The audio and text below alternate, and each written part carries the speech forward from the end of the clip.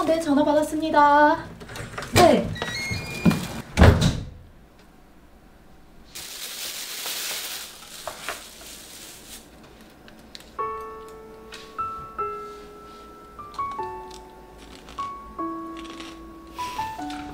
나는 요즘 집밥이 땡긴다.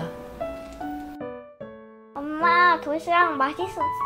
그럼 오늘은 엄마가 저녁 차려줄게. 좋아. 뭐 먹고 싶어? 음 멸치. 멸치? 너 멸치 안 먹잖아.